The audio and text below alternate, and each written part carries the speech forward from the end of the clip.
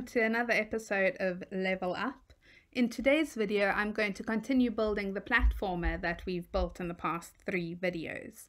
So what we've done so far is we've created a sprite, created um, a tile map for her to run along, and we've given her a way to win the game and a way to lose the game. But we want to make it a bit more interesting. We want to give our sprite a way to earn points within the game. So we will start by making our tile map a little bit more interesting and we'll do that by increasing the size. So as we can see down here, our tile map is currently 16 by 16 and what we'll change it to is, let's try 40. Enter. And what that's given us is a more extended tile map. So we've got a bit more space to play around with. So the first thing we'll do is we'll go back to miscellaneous, grab that lava and extend it along the floor. Which one had we chosen? This one? Yep, that looks about right. So let's extend that across the floor. Now I'm not being particularly creative. Um, so I invite you to spice your own game up a bit. And what we'll do is we'll add a few more platforms. So let's pop a few platforms along. There we go. So I've added in a few more platforms. I've not turned them into walls yet. And the reason I've not done that is because um, they're a mixture of blue and pink. So this whole first lot are pink and the last lot are blue. And I want to make that a little bit more equal. So I'll come to the paint option um, and I'll just select a few rows that are currently pink and I'll change them to blue. Um, and then I'll change to the pink block and a few rows that are blue, I'll just change them to pink. We need to make them walls. So we'll select our wall tool and we'll make them walls. There we go, I'm done. I've made all of those platforms walls. So I've given our um, sprite something to stand on. Something I'm going to do first is I'm going to move our orb, so the way we win the game, to the end of the tile map and I'll do that by erasing it um, and finding it again. I can't remember where it was. Was it in dungeon? Yes. So, got our orb, and we will put our orb over here. So our sprite needs to go along all of these platforms to get to our orb. So let's test that. Click our A button. There are our pretty platforms and our very fancy clouds. Um, Let's try to not die.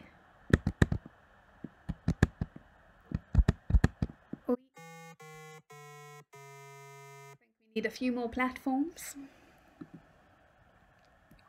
So I'll add a few more platforms and then get back to you.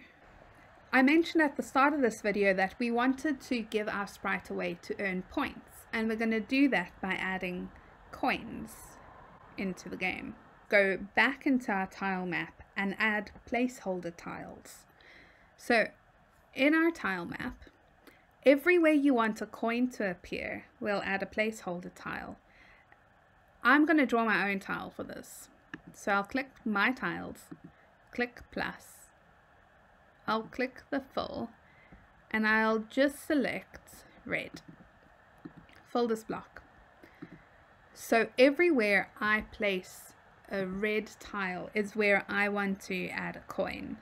So I'll add a coin there, add a coin there. Now you can see I've added a whole bunch of red tiles and this is where I want my coins to be. So I'll click done and let's see if that appears in our simulator. Eh, yep. So all of those red blocks is where we're going to have a coin. But now we need to write the code to generate a coin on those placeholder tiles. And we'll do that by coming to our loops block. And we will choose a for element value of list. And we'll drop that in under there.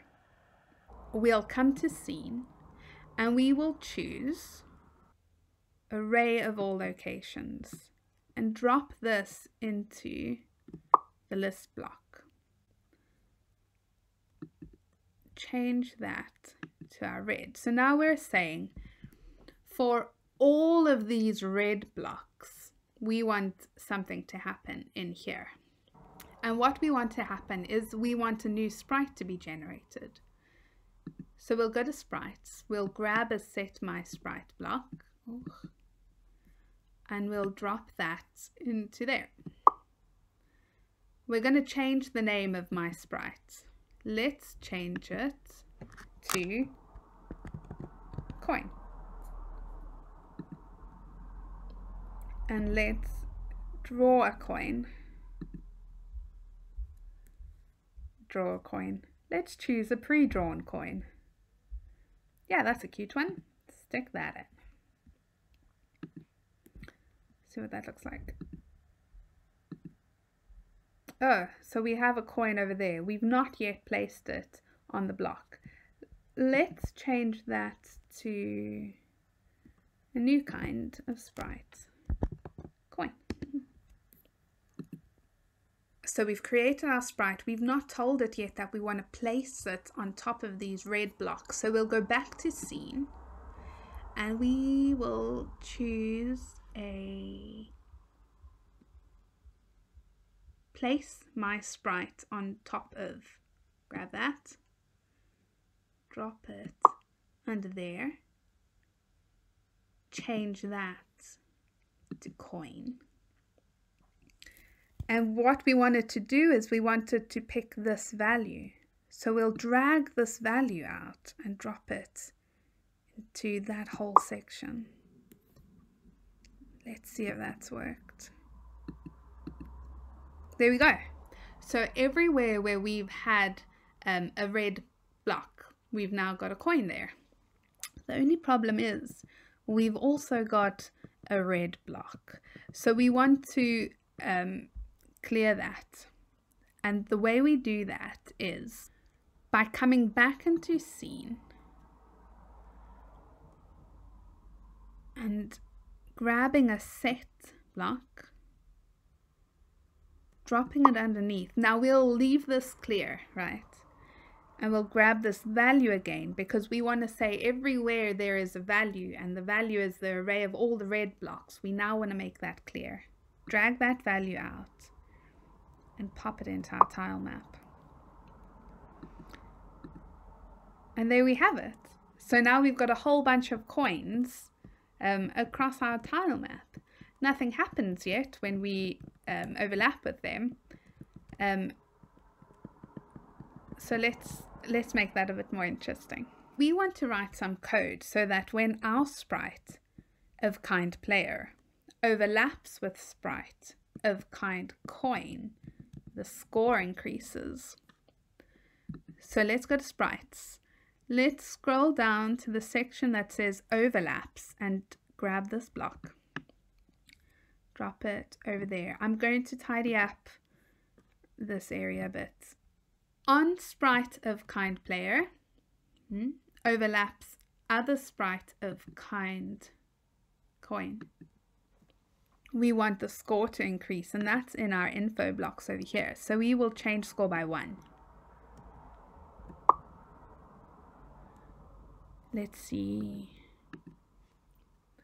Oh, there we go. So every time our sprite overlaps that coin, the, the, the score increases. But we don't want that to keep happening. We only want one coin to give her one extra point. So what we need to do is we need to destroy that sprite. Back to sprites. Scroll down to destroy my sprite. Underneath. We don't want it to destroy my sprite. We want it to destroy other sprite.